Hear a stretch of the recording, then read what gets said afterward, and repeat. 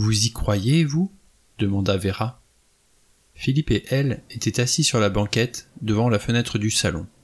Dehors, il pleuvait à torrents, et le vent qui mugissait et soufflait en rafales faisait trembler les vitres. Philippe Lombard pencha légèrement la tête de côté. Autrement dit, est-ce que je crois que le vieux Wargrave a raison quand il affirme que l'assassin est l'un de nous? Oui. Difficile de répondre à ça, marmonna Philippe Lombard, songeur. Logiquement, il a raison, et pourtant. Vera lui ôta les mots de la bouche. Et pourtant, ça paraît tellement incroyable. Philippe Lombard fit la grimace. Toute cette histoire est incroyable, grommela-t-il. En tout cas, après la mort de MacArthur, une chose est sûre. Il n'est plus question d'accident ni de suicide. Ce sont bel et bien des meurtres. Trois à l'heure qu'il est. Vera frissonna. C'est comme un mauvais rêve, dit-elle. Je ne peux pas m'ôter de l'idée que des choses pareilles, ça n'arrive pas. Je sais, dit-il compréhensif. Dans un instant, on va frapper à la porte de votre chambre et vous apporter le petit déjeuner au lit. Oh, si seulement s'écria Vera. Oui, mais n'y comptez pas, répliqua Philippe Lombard avec gravité. Nous faisons tous partie du mauvais rêve, et dorénavant nous avons intérêt à veiller au grain. Vera baissa la voix. Si, si c'est vraiment l'un d'entre eux, lequel est-ce à votre avis? Philippe Lombard eut un sourire subit. Vous nous excluez du lot tous les deux. Ah, remarquez, ça me va. Je sais pertinemment que je ne suis pas l'assassin, et je ne crois pas qu'il y ait une once de folie en vous, Vera. Pour moi, vous êtes la fille la plus saine et la plus équilibrée que j'ai rencontrée. Je parierais ma réputation sur votre santé mentale. Merci, répondit Vera avec un sourire teinté d'ironie. Eh bien, Miss Vera Clayton, qu'attendez-vous pour me retourner le compliment? Vera hésita un instant. Vous savez, dit-elle enfin, vous avez reconnu vous-même que la vie humaine n'a rien de sacré pour vous. Mais j'ai quand même du mal à imaginer que vous puissiez être l'homme, l'homme qui a enregistré ce disque. Bien vu, approuva Lombard. Si je devais commettre un meurtre, ou plusieurs, ce serait uniquement pour le bénéfice que je pourrais en tirer. Ce nettoyage en série, ce n'est pas mon style. Bon, maintenant que nous nous sommes éliminés, concentrons-nous sur nos cinq compagnons de détention. Lequel d'entre eux est A.N. Onaim Au hasard et sans aucun argument à l'appui, je miserai sur Wargrave. Ah fit Vera, surprise. Elle réfléchit un instant avant de demander. Pourquoi? Difficile à dire précisément. D'abord, c'est un vieil homme qui a présidé des tribunaux pendant des années. En d'autres termes, il y a belle lurette qu'il se prend pour Dieu le Père dix mois par an. Ça doit finir par monter à la tête. Il en arrive à se croire omnipotent, détenteur du droit de vie et de mort sur tout un chacun, et pour peu qu'il ait perdu la boule, il a pu être tenté de sauter le pas, de devenir à la fois le juge suprême et le bourreau. Oui, ça n'est pas impossible, murmura lentement Vera. Et vous, sur qui misez-vous? demanda Lombard. Elle n'eut aucune hésitation. Le docteur Armstrong. Lombard émit un sifflement étouffé. Le médecin, hein? Moi, je l'aurais placé en dernier. Vera secoua la tête. Oh non Deux décès sur trois sont dus au poison ça désigne plutôt un médecin.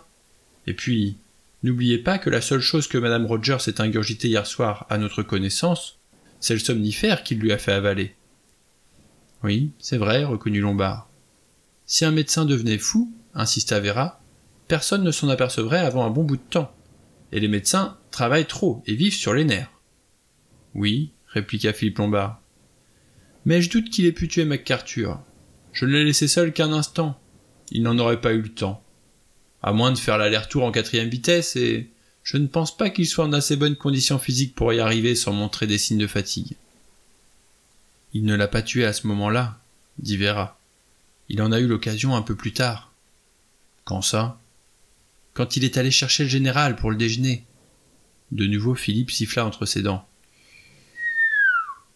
Vous croyez qu'il aurait fait le coup à ce moment-là? Ça exigeait un sacré culot. Qu'est-ce qu'il risquait? riposta Vera avec impatience. Il est le seul ici à avoir des connaissances médicales. S'il jure que la mort remonte à plus d'une heure, qui ira le contredire? Philippe la regarda pensif. Vous savez que votre idée n'est pas bête du tout. Je me demande. Qui est-ce, monsieur Blore? Voilà ce que je veux savoir. Qui est-ce? Le visage de Rogers était ravagé de tiques. Ses mains étaient crispées sur un chiffon à poussière. Toute la question est là, mon gars, répondit l'ex-inspecteur Blore. L'un d'entre nous, a dit monsieur le juge. Mais lequel? Voilà ce que je veux savoir. Qui c'est ce démon incarné? Ça, dit Blore, c'est ce que nous voudrions tous savoir. Mais vous avez bien une idée, monsieur Blore, dit Rogers d'un air entendu. Vous avez bien une idée, pas vrai? J'en ai peut-être une, répondit Blore d'une voix lente. Mais de là à être sûr, je peux me tromper. Tout ce que je peux dire, c'est que si j'ai raison, le personnage en question n'a pas froid aux yeux. Ça non, il a pas froid aux yeux. Rogers essuya son front en sueur. C'est un cauchemar. Voilà ce que c'est, dit-il d'une voix rauque. Blore le regarda avec curiosité. Et vous, Rogers, vous en avez une idée? Le majordome secoua la tête. Je n'en sais rien, je n'y comprends rien. Et c'est ça qui me met la peur au ventre. N'avoir aucune idée. Il faut que nous partions d'ici, dit le docteur Armstrong avec véhémence. Il le faut. Il le faut à tout prix. Pensif, le juge Wargrave regardait par la fenêtre du fumoir. Il jouait machinalement avec le cordon de son lorgnon. Je ne me prétends pas expert en météorologie, mais à supposer qu'on soit au courant de notre situation critique, il est fort peu probable qu'un bateau puisse aborder l'île avant vingt-quatre heures. Et encore, seulement si le vent tombe. Le docteur Armstrong se prit la tête dans les mains. Et d'ici là, gémit-il, nous serons peut-être tous assassinés dans nos lits.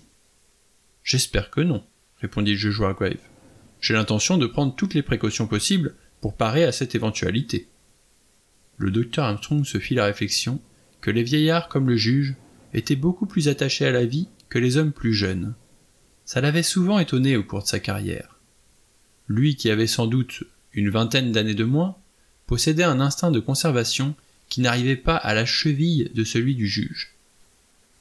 Assassinés dans nos lits, se disait le juge Wargrave. Tous les mêmes, ces médecins. Ils pensent par cliché. Pas une once d'originalité. Nous avons déjà eu trois victimes, insista le médecin. Il ne faut pas l'oublier. Certes, mais vous, n'oubliez pas qu'elles ont été attaquées par surprise. Nous, en revanche, nous sommes prévenus. Que pouvons-nous faire? dit le docteur Armstrong avec amertume. Tôt ou tard. À mon sens, répondit le juge Wargrave, nous pouvons faire bien des choses. Nous ne savons même pas qui ça peut être, se lamenta Armstrong. Le juge se tapota le menton. Je ne suis pas de cet avis, murmura-t-il. Armstrong le regarda médusé. Vous voulez dire que vous savez?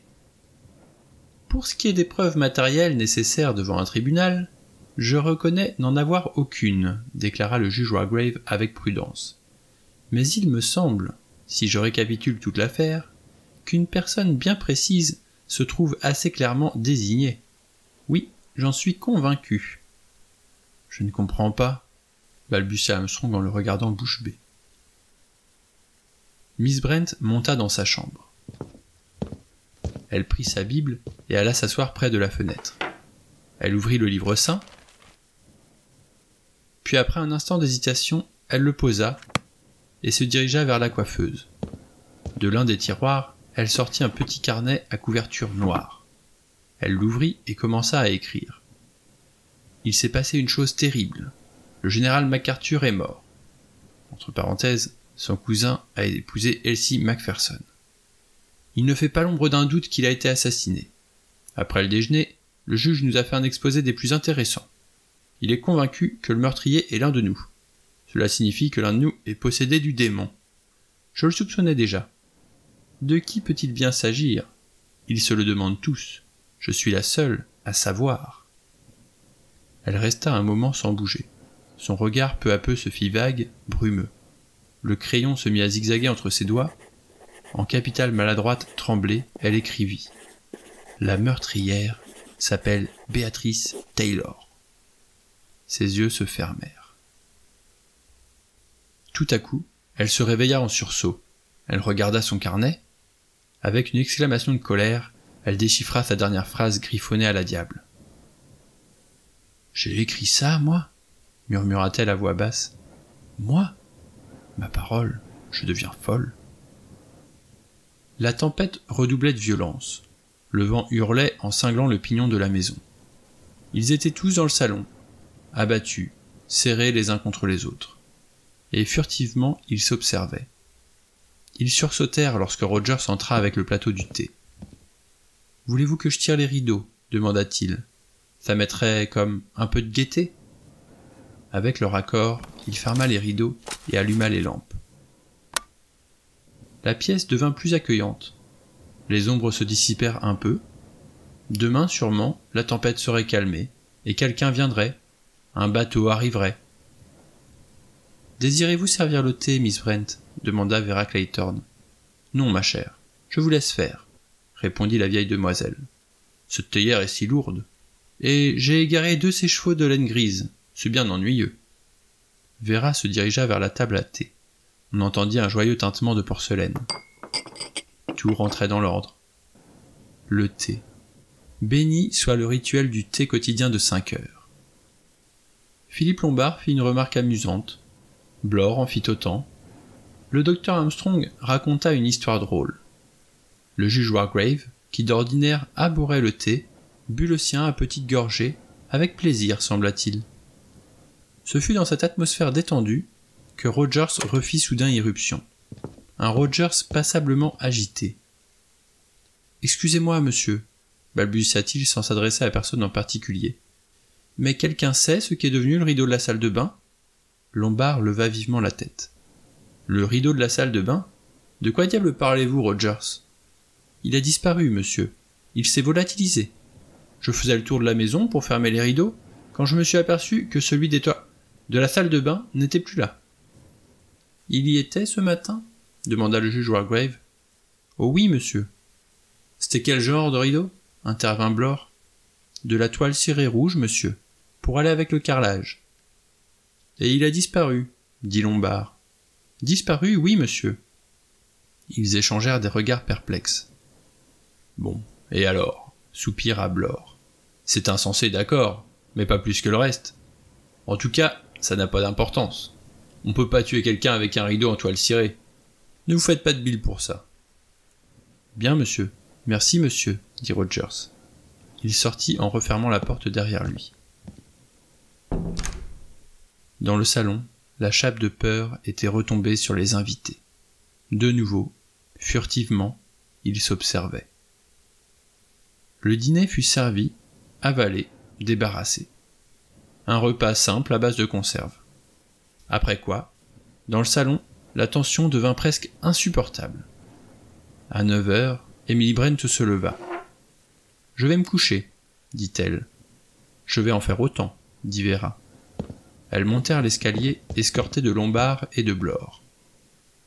Arrivées sur le palier, les deux hommes attendirent qu'elles soient entrées dans leurs chambres respectives et qu'elles aient fermé leurs portes. Ils les entendirent pousser le verrou et tourner la clé dans la serrure.